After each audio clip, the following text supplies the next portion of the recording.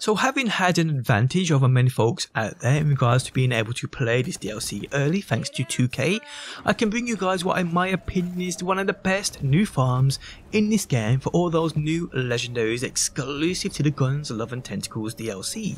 And that's what I have for you today. How's it going guys, my name's DPJ and today I'll bring you another BL3 video. If you do enjoy it, leaving a like really helps out and subscribe if you do want to see more.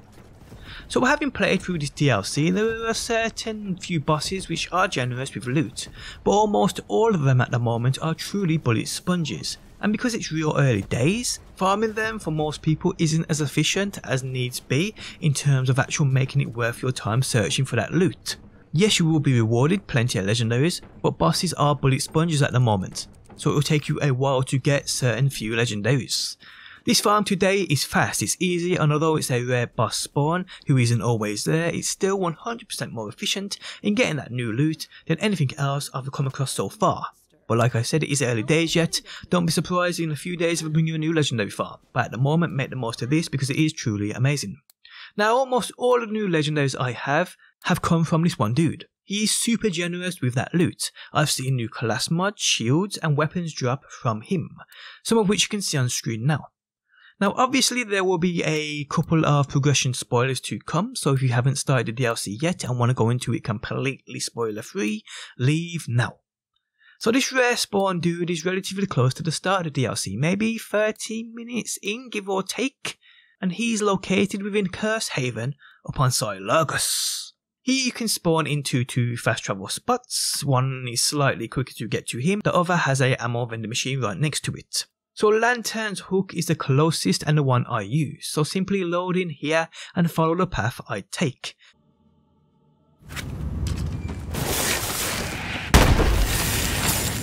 Now within this area there are always enemies going to be here, some quite tanky to be honest too.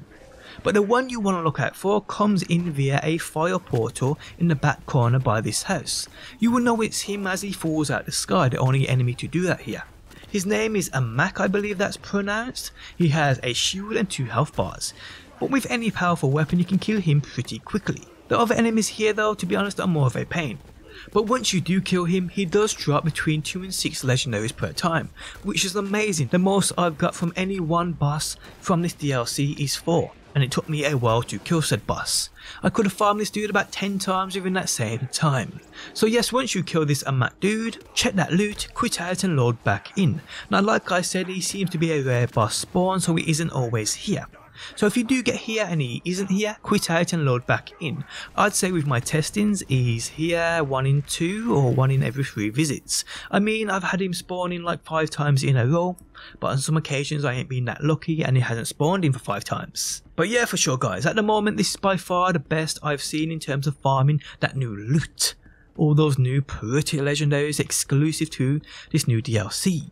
So enjoy it people. Now you may want to get to a level 57 before farming this dude, just a thought. I mean getting to a level 57 is pretty easy, you can farm Graveward for XP, Claptrap Prime for XP, the Slaughter Shaft, there are many instances within this game where you can farm XP but I do recommend you getting to a level 57 before you farm this dude because there's no point coming here at level 55 or 56, getting those legendaries drop, you move on, and progress through the DLC story, you get to a level 57, all these weapons you had dropped from this dude become kinda useless. So yes, get to a level 57 before you farm this guy. Just a thought. But on that note guys, we have come to the end of the video. I hope this helps you out, I really do. If it does, leaving a like really helps me out. If you're new around here and want to see more Borderlands, be sure to subscribe. And if you never want to miss a video upload, you can turn notifications on by hitting that bell button. But guys, thanks as always for stopping by. Hopefully you enjoyed the video and hopefully I'll see you on that next one.